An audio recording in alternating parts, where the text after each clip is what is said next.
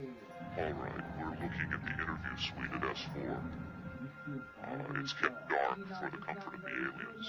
The uh, figure who is just barely visible in the left foreground is the telepath, and behind the camera is a raked seating area for observers. The alien is seated behind a glass partition in a biocontainment area. The theory is that uh, if they were going to infect us with an alien bug, it would have happened 50 years ago. All the indications are the aliens eliminated from their own ecosystem long ago. They aren't